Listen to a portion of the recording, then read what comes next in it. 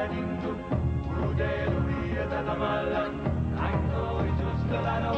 since we could think for ourselves, we wondered what will happen to us.